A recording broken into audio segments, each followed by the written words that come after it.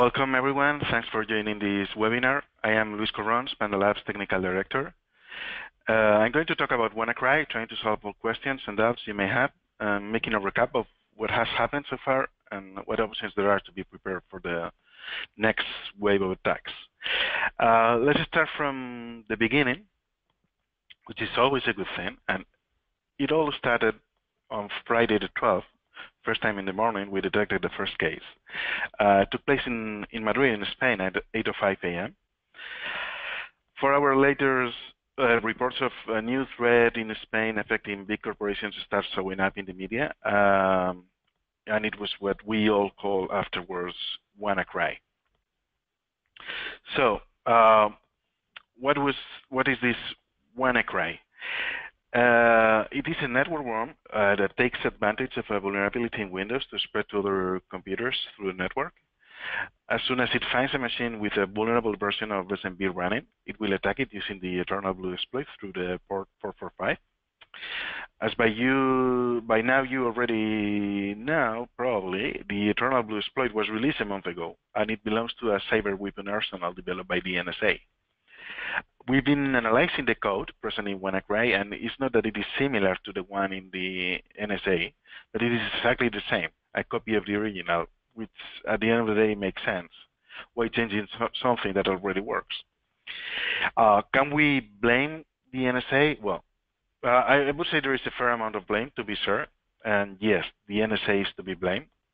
Also, it is not an excuse for not having patched the computers. I mean, we have to remember that the patch had been available for two months, or for having SMB exposed to the internet, which is something that still puzzles most of us. Um, what Eternal Blue does is uh, to inject a malicious DLL into the system process lsass.exe, uh, and it will be these LSASS uh, who will take care of executing the DLL, which is called launcher DLL, that contains all the malicious code, including the ransomware that will run on the computer. From there, it will continue spreading in both the local network and the rest of the internet. This is important because uh, people at the beginning thought that it was only spreading through the local network. No, it was through the local network and through all the internet. Um, so regarding WannaCry, um, I'm not going to describe each and every small detail of it here. Uh, in the following URL, you will find different resources and information uh, such as uh, detailing technical analysis of WannaCry, probably one of the most complete you may find right now.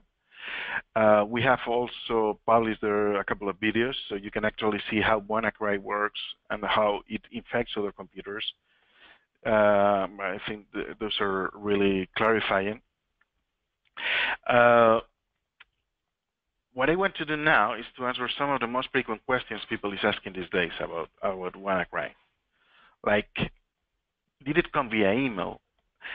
Uh, most media reported that the initial attack uh, was sent via spam messages through email. Uh, here you have uh, one example, uh, Financial Times, where they even uh, give details such as it came in a zip file. well, as far as I can tell you, this is not true. I mean, all attacks have been, all of the attacks we have seen have been through the Eternal Blue exploit since the very first day. Um, the two days later, after WannaCry showed up, I was checking my email. I had a few messages from different colleagues in the industry asking me about this topic. Uh, well, the thing is that uh, as the first news came from Spain and uh, our headquarters are here in Spain, so it makes sense that all the competitors were asking us to see if we had some more intel or anything that they hadn't seen. Because the same as they hadn't seen a single email, I confirmed that there were no emails, uh, and actually on Monday morning I I decided to tweet this uh, to make it clear. Uh, nowadays, it is media is not, not saying anymore that uh, uh, talking about this e email vector. Uh, is it as massive as the media has reported? Well, it, it always depends on the point of view it has a massive attack. I mean, it has been a massive attack. There is no doubt about it. Uh, but at the same time, if we remember past threats such as, I don't know, SQL Slammer or Blaster, this has not been that massive. Uh, nowadays, most home users uh, they are behind a router, and then also they have uh, Windows updates activated by default, which means they were already protected, like for two months. Uh, however, uh, the damage caused by WannaCry, by the pay, payload of WannaCry, the ransomware in this in this attack is, is way bigger than any of the other massive threats we have seen until now as the ransomware will encrypt all valuable information in the computer and in the network shares. So there are still a number of computers still infected, uh, and I wouldn't risk to connect uh, an unpatched computer to the internet because it's uh, it would be a matter of time to to get it infected. Uh, you probably have seen some figures. Uh, uh, the last time I checked, they were saying that there were around 300,000 victims. I would say that that number is way higher. I mean, there are a number of computers within corporate networks that have been infected, although they have not connection to the outside. So we're probably talking about millions of computers infected. Because uh, this 300,000 figure, uh, the WannaCry connects to a website, so they were counting the number of IP addresses connecting to that uh, to, to that specific IP address.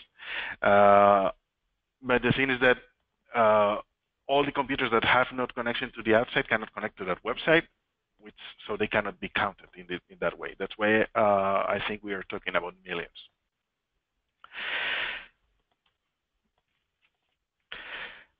One of the characteristics of WannaCry is that it, it tries to connect to this specific URL I was talking about, uh, and if in case it exists, it doesn't do anything.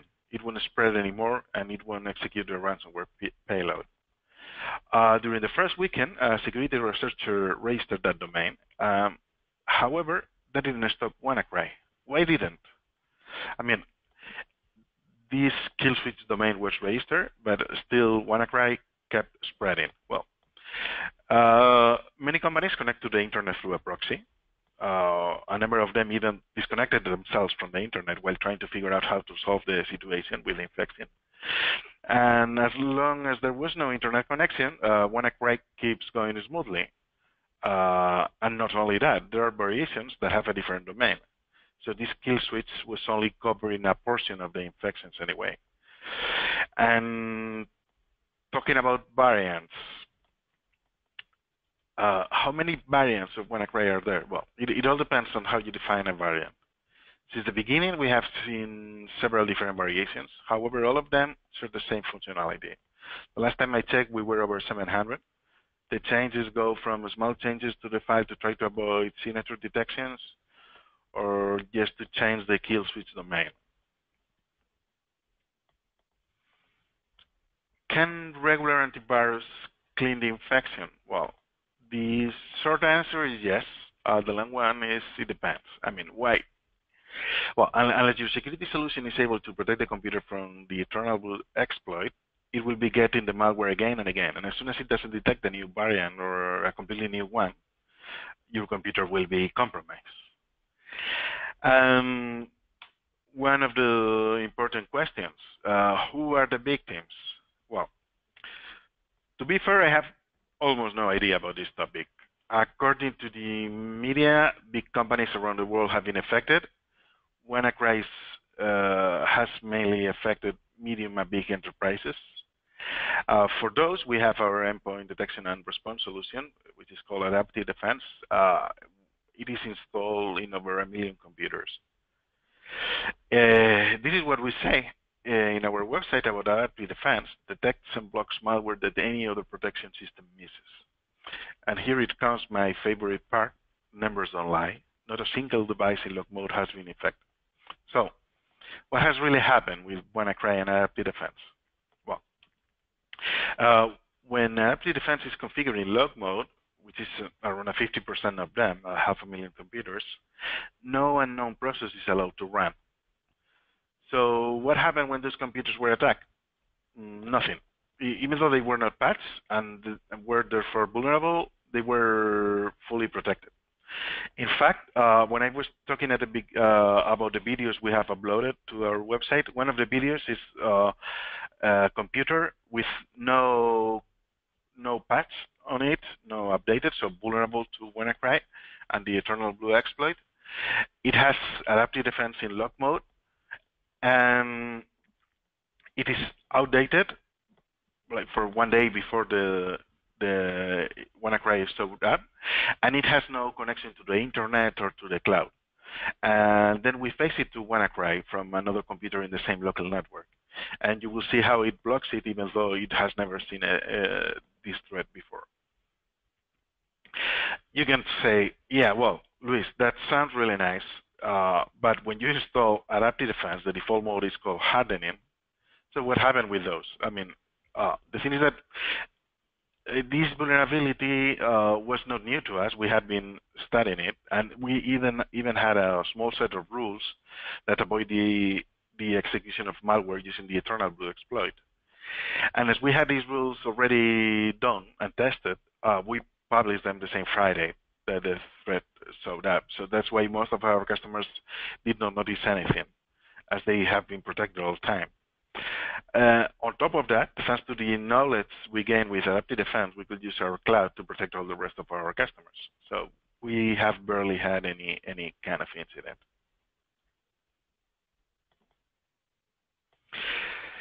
So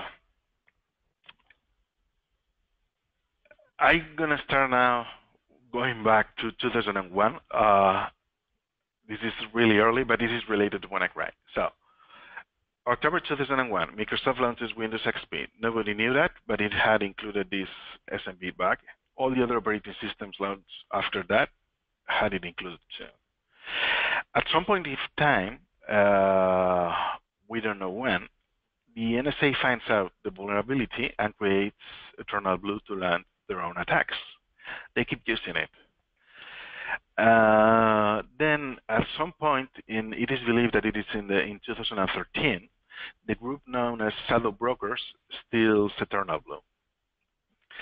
Uh, later, uh, the NSA will realize of this, and they will let Microsoft know so they can make a fix. Um, and they that's what they did and published this update two months ago in March 14th. Uh, Shadow brokers tried to sell the tool, but they were asking for a ridiculous uh, high amount of money, so nobody bought it um, and they decided to publish it. That was in April 14th. Uh, one month later, WannaCry spread worldwide. Then the question here is, there were really no other attacks during that month. I mean, there was a, a period of one month since Eternal Blue was made public and WannaCry saw that. Adaptive Defense monitors in real time all processes that are running in each computer so we decided to take a look at all times in the last month where we had blocked some malicious behavior and the system process LSASS had been involved somehow. And we found something. The first case was on April, on April 24th, and unlike the WannaCry attack, which directly injected malware into the process, uh, here they use it in a completely different way. Here you can see how they are running the CMD .exe through the LSASS process. So then they are able to, for example, create a new user, download components of the tools. They will be using a killer version of tools they had previously installed. Uh, go into autorun to gain persistence, create a scheduled task. Most of the actions are carried out with Windows Sound utilities or non-malicious tools, making impossible the detection for traditional antiviruses. One of the things they did was to close port 445 to prevent, to prevent other actors from taking advantage of the MS-17010 uh, vulnerability. Fun enough, this means they were protecting those computers from being infected by WannaCry. Uh, and one important note here, those of you who have not been infected, even though you had not patched your systems, take a second look as you could have been previously attacked by these guys. One of the goals of the attack was to install the cryptocurrency mining so software. Uh, the, the currency that was being mined was called Monero. It's similar to Bitcoin. Uh, here in the screen, you can see how it is installed as a service and launches the mining program. Uh, one of the characteristics I like the most about uh, adaptive defense is the ability to generate forensic information in real time. It's really so useful for anyone that is running it. I mean, even if at some point in the future there is a security breach, uh, it, it allows you to find out the answer to all questions we do ourselves when a breach happens. What has happened? When did it happen? Where did it come from? What what have the attackers done since I uh, before I found them? Um, so the, the good news is that our customers were already protected and we could spend our time doing what we like the most, which is reverse engineering WannaCry. Uh, that allows us to learn everything about it. We even created a free vaccine to help the unfortunate companies that are not our customers. Uh, in short, this works in the following way. It makes the computer immune to WannaCry, even if the patch is not installed yet. Uh, it makes it because uh, WannaCry checks for uh, specific mutex in in memory. So this vaccine basically creates those mutexes, and and then if WannaCry shows up, it will think it is already running on the computer and it will, won't do anything. As a track bonus, we scan all processes in memory, and if there is any malicious one, we'll remove it for you. This is already in, in, in our website in you, can, you will find it from the link I have put in the presentation earlier. Well, um, so conclusion, remember that um, updating our systems is critical. And I'm not talking about this specific vulnerability, but all of them. It is time to have processes in place that allow us to, to have all critical updates deployed in our network as soon as possible. Those of you that still have all operating system versions, such as Windows XP or Vista, and for some reason you cannot upgrade them, well, uh, those computers have to be specifically fortified. For example, using lock mode if you have adaptive defense, and as isolated as possible. Antivirus solutions have their limits, and in this world we're living, they are not enough.